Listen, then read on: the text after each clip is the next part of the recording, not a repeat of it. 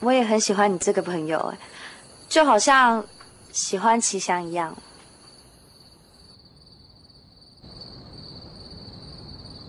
豆腐好像已经烤好了，我们我们回去吧。等一下，你想干嘛？这不是你随身携带的，你画完了吗？我怀疑我能不能完成它。这些画是你的本钱哎，不画完怎么卖了还钱给齐祥嘛？要快点画完哦。我先过去了，不然东西被他们吃光了。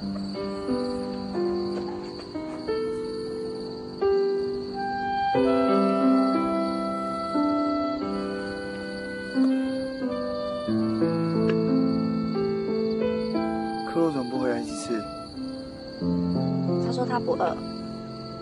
你们吵架了？干嘛你那么臭？没有啊，肚子好饿。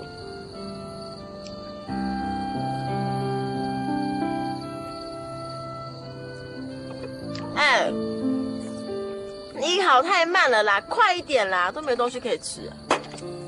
你没有看到我已经很努力的在烤了吗？我去拿酒来好了。哎，你顺便叫阿姨一起来吃。嗯。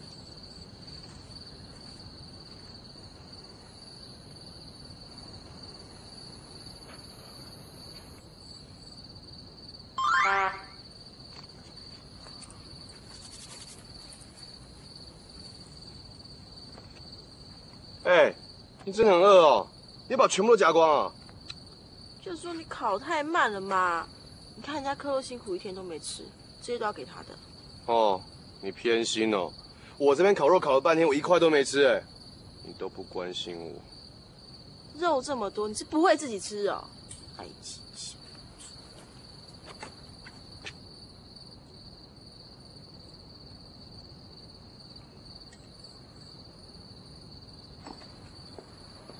哎，你很大牌哦，我姐请不动你，还要我这服务生来送菜啊？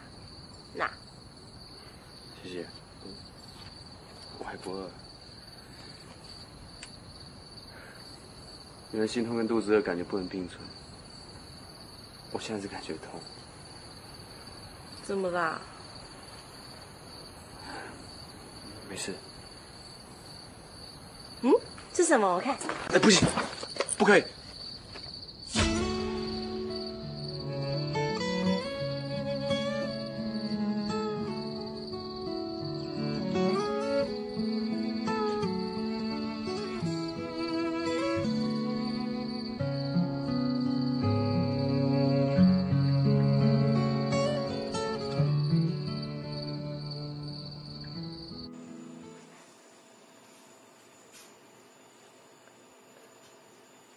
哎，阿姨，我们那边烤的差不多了，赶快过去吃吧。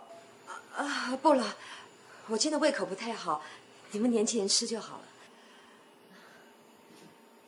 了。啊，对了，我听克洛说，你姓韦啊？是啊。呃，姓韦，呃，国内的画家姓韦的好像不多。啊，很多年以前，我就听过有一个叫韦少鹏的。阿姨，你知道我父亲啊？他真的是你爸？是啊。听一些前辈说，我爸当时是在同辈里面算最有天分的，只可惜他的生性散漫，自视甚高，从来不参赛，也不把他作品拿去卖，所以一直默默无名。一直到最近，我妈才把他的作品拿到他的画廊展出，才开始有人注意到他。阿姨，你有见过我爸的画吗？哦，是啊是啊。哎呀，其实阿姨也不懂的啦。呃，我只想说，你跟克洛是好朋友。克洛学画到现在也赚不了什么钱，不知道是不是？可以请你父亲帮忙多指点指点。阿姨呀，你放心，科洛的才华早就有人注意到了。上回东京美展，他得到了新人奖，那是非常不容易的事情哎。至于我爸，就不要提了，他已经离开我们很久了。死了？什么时候的事情啊？十多年了。这么久了，那那你妈呢？我妈，我妈也过世了。我一直以来都是我大妈养大的。好啦，不要聊这些了。我爸的风流韵事，其实我自己也不是很清楚。那你家还有什么人呢？我还有一个爷爷，他的企业有一点规模，所以从小到大我都不愁吃不愁穿。毕业之后就直接进入了这个企业工作。我应该不会是鼎鼎大名的韦氏企业。是啊，那是我爷爷白手起家自创的公司。果然，你的确是比我们家克洛要幸运多了。阿姨，那我要先过去了，你真的不来啊？不了，你们年轻人玩就好了。那我过去了。嗯。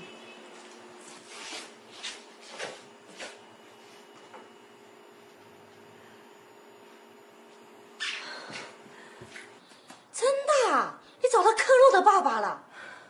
那有什么用？那个死冤家都已经死了十几年了。最过分的是，他跟我在一起的那段时间，他竟然没有让我知道他就是伟氏企业的小开。啊，小开，小开。他家有钱是几辈子都花不完的，他竟然让我母子吃了二十几年的苦，我真的不甘心，我真的很不甘心。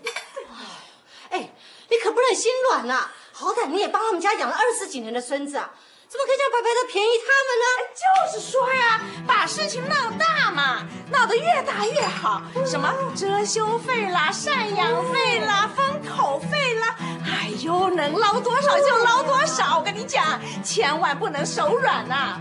这个世界上啊，只要你心软，就会被人家吃得死死的。你大不了，你大不了就开个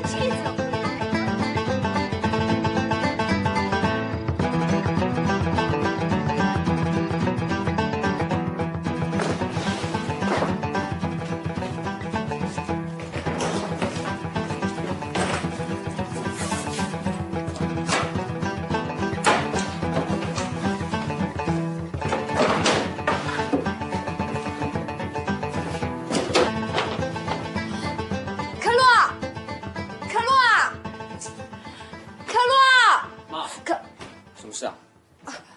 你说一下，家里房间不够，妈今晚上就到阿兰阿姨家去住一晚哦。好好，就这样子了。哎，你们好好玩啊！啊，哎妈，别管我，别管我了。哎妈，哎，好了，就这样子啊，拜拜拜拜。